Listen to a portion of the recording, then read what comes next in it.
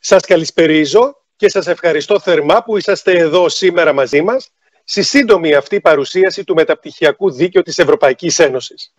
Μαζί θα θίξουμε τέσσερα βασικά ζητήματα. Πρώτον, τους λόγους για να επιλέξετε το συγκεκριμένο μεταπτυχιακό. Δεύτερον, τη γνώση που προσφέρει. Τρίτον, τις προοπτικές εργοδότησης και περαιτέρω σπουδών. Και τέλος, τα βασικά χαρακτηριστικά γνωρίσματα του εν λόγου προγράμματος. Πάμε πρώτα να δούμε τους λόγους για να επιλέξετε το συγκεκριμένο πρόγραμμα. Οι λόγοι αυτοί θα μπορούσαν να διαιρεθούν σε τουλάχιστον, σε τουλάχιστον τρεις κατηγορίες.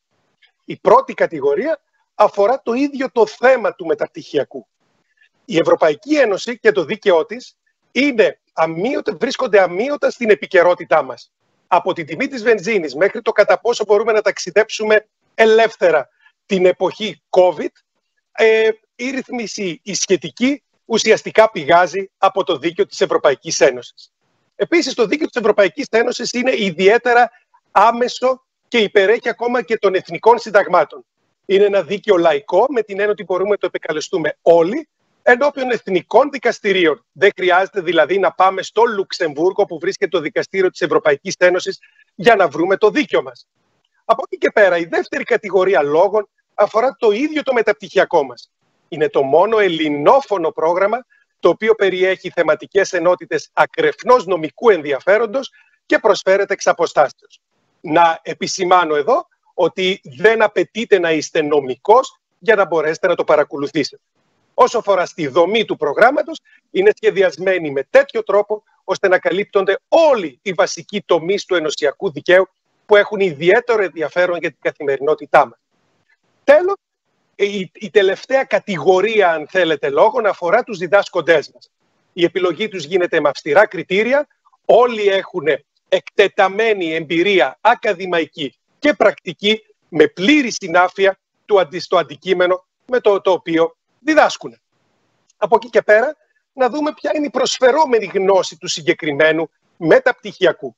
Όπως ήδη σας εξέθεσα, με το συγκεκριμένο μεταπτυχιακό θα μπορέσουμε να αποκτήσουμε μία πλήρη και συνεκτική εικόνα των ρυθμίσεων της Ευρωπαϊκής Ένωσης πάνω στους βασικότερους τομείς, όπως είναι η προστασία των ανθρωπίνων δικαιωμάτων, όπως είναι οι κρατικές ενισχύσεις, οι δημόσιες συμβάσεις, η προστασία των, του ελεύθερου ανταγωνισμού.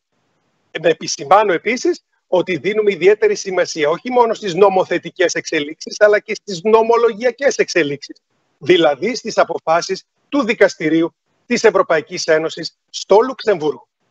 Επίσης, να υπογραμμίσω ότι το συγκεκριμένο μετεπτυχιακό είναι, αν θέλετε, κατάλληλο, όχι μόνο για εκείνους οι οποίοι ήδη έχουν κάποια γνώση, κάποιες βάσεις στο δίκαιο, αλλά σε εκείνους οι οποίοι απλώς είναι υπεύθυνοι πολίτες και επιθυμούν να επεκτείνουν τις γνώσεις τους πέρα από το πρώτο τους πτυχίο σε θέματα τα οποία ρυθμίζουν τόσο άμεσα και δραματικά την καθημερινότητά τους. Και αναφέρομαι προφανώς στην Ευρωπαϊκή Ένωση και στο δίκαιο που παράγει.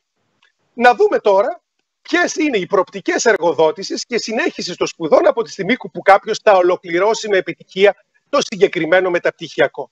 Εδώ η γκάμα επιλογών είναι τεράστια.